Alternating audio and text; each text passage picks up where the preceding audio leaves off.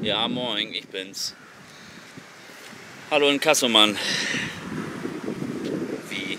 Keine Zeit? Du hast für Sören Schnabel, Musikproduzent, immer Zeit.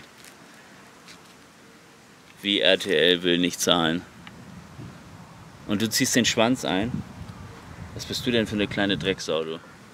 Also ganz ehrlich, weißt du, wenn das so ist, ja, wenn du Scheiße baust, dann äh, werde ich mir jemand anders holen, der das professionell macht. RTL wird schon die Million bezahlen. Ich habe da gar kein Problem. Dieses hässliche Eitergeschwür von RTL. Ja, tschüss.